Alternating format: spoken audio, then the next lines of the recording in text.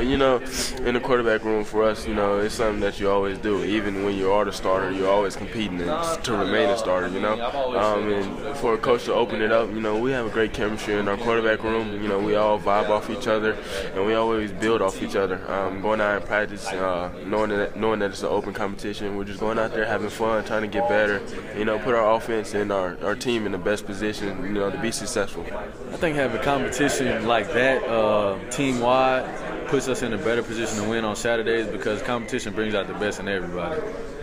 And if you don't want to compete, then you're playing the wrong sport. I mean, I do think there's an open competition, but again, you know, practice is only so long. It's only so many reps are able to go to so many different people. And, you know, especially at the quarterback position, there's only one out there at a time.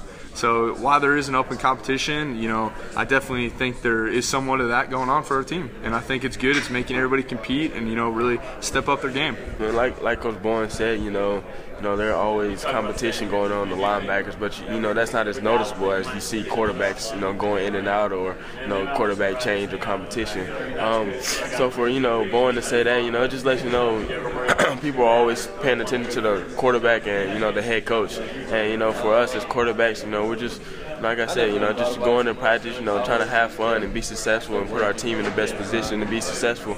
Um, and so, you know, you know, coaches come with their decision. You know, you know, if it's if it's me, it's Mike, or it's TJ, we're all going to rally around each other. We're going to, you know, we know that that person's going to be the guy, you know, put us in the best position, and we're looking forward to it. Yeah, I think that competition definitely brought more intensity, more focus, and attention to detail to practice. And I think that's that's going to be a good thing. That's going to help us out on Saturdays. Uh, it, it's important to me. Now I'm getting to run our offense. It's been a been a while again since I've been able to run our offense.